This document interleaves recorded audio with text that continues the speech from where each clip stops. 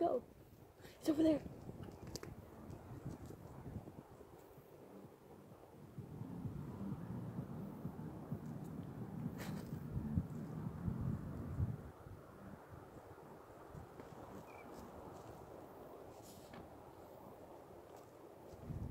Bud, don't leave me.